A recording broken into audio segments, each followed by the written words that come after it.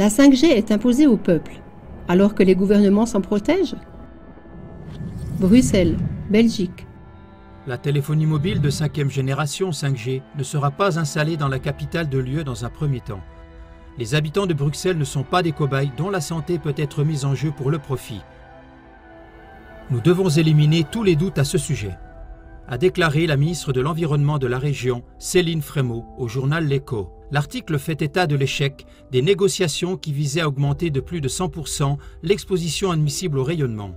Y va-t-il vraiment de la protection de la population ou n'est-ce qu'une excuse pour protéger les politiciens de l'UE et les services gouvernementaux de Bruxelles des dommages causés par le rayonnement de la téléphonie mobile? Genève, Suisse.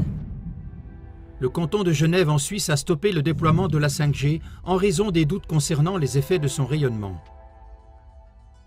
D'autres cantons, comme ceux du Jura et de Vaud, ont suivi cet exemple. Le Parlement cantonal genevois veut attendre de voir des études indépendantes sur la question. Dans le Grand Conseil genevois, il a été souligné que l'environnement était de plus en plus exposé à des rayonnements électromagnétiques et que personne n'en connaissait les répercussions sur la santé. Qui doit donc être protégé des dommages irréparables de la téléphonie mobile? La nature et l'environnement sont-ils vraiment au centre des préoccupations, ou plutôt les collaborateurs des organisations internationales qui ont leur siège à Genève? Comme par exemple les Nations Unies, l'ONU, l'Organisation mondiale de la santé, OMS, le Centre de recherche nucléaire, CERN, la LLE, le Forum économique mondial, WEF, etc. Palm Beach, Floride, États-Unis.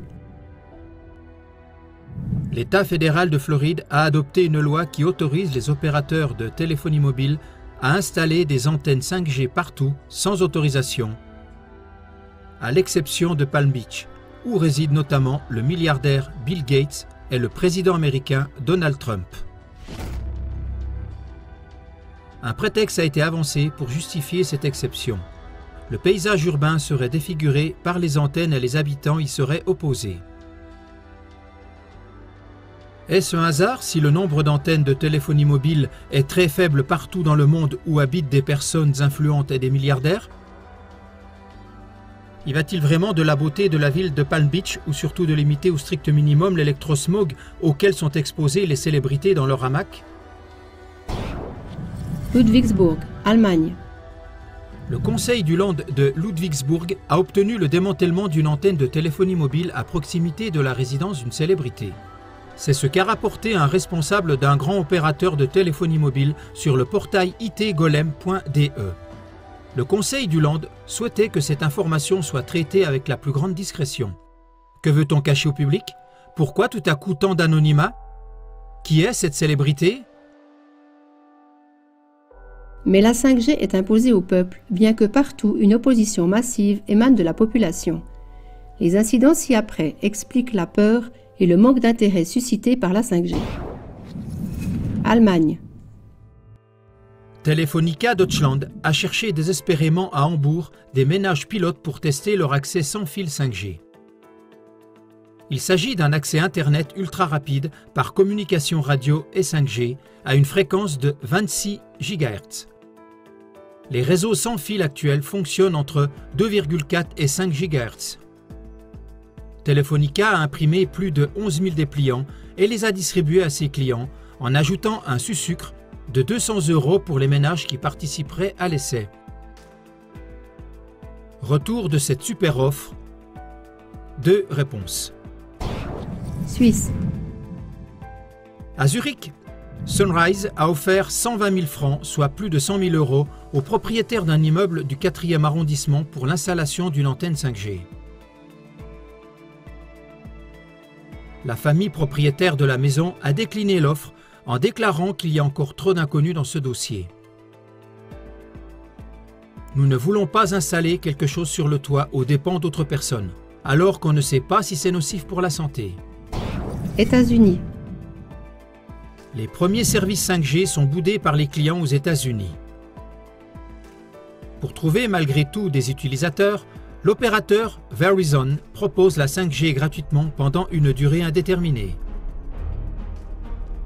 Il ne s'agit là que d'une toute petite sélection parmi d'innombrables exemples.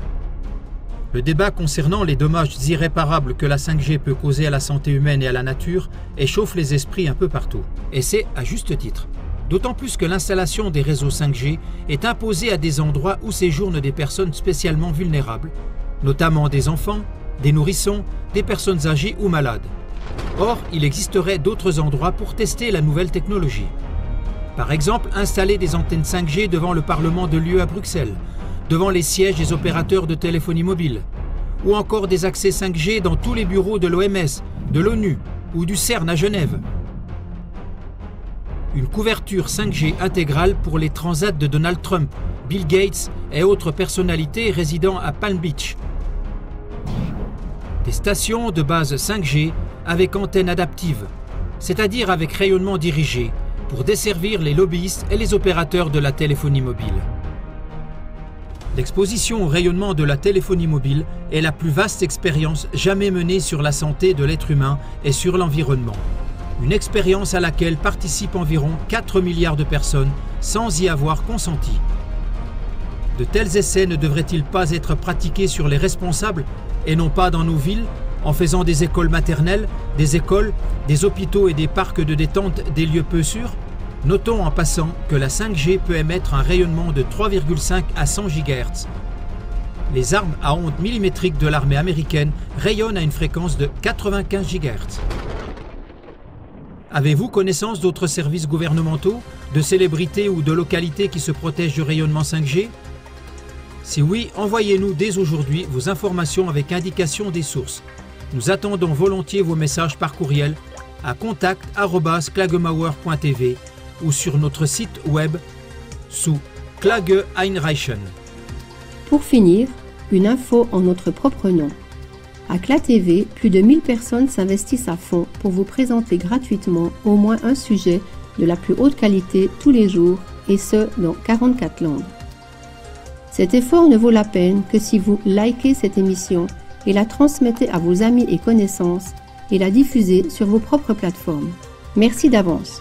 Toutes les vidéos de CLA.tv sur la thématique 5G se trouvent sous www.cla.tv 5G FR. La diffusion de nos productions par vous est notre unique salaire.